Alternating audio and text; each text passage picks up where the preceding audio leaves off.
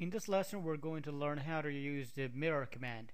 Mirror command is used on symmetrical objects and uh, that means we're going to create half, half of the work and mirror that half of the work to the other side and that means half the other of the work is being done by AutoCAD. Now here I've got a a little more than a half of the uh, basketball court here and we're going to mirror this basketball court to finish it up. I'm going to launch the mirror command. It's right here in the modify uh, modify panel. To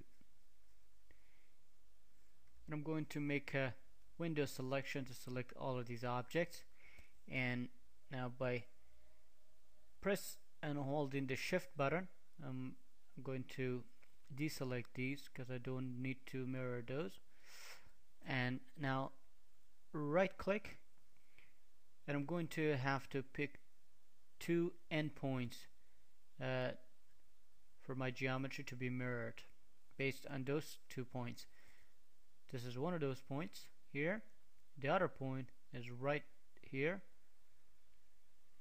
And now AutoCAD is uh, asking us if we want to erase the source object which is half part of the uh, basketball court. Now we don't want that to happen. We're going to right click and uh, select no. Now uh, we finished this basketball court. Let's see another example. To now here I've got a decorative light pole and uh, I want to copy this side or mirror this side to the other one and have two lights here. I'm going to zoom a little.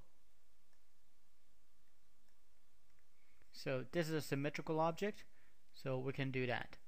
I'm going to launch the mirror command and I'm going to make a Crossing window to select all these and right click now we need two points in order to mirror uh, our object uh, in the other side of those two points. Now I've got a straight line here. That's good.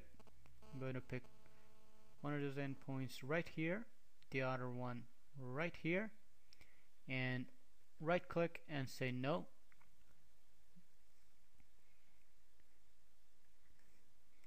Whenever you've got a symmetrical object, that's the opportunity to use the mirror command. And if you use the mirror command in the proper way, you are making the AutoCAD to do half of your work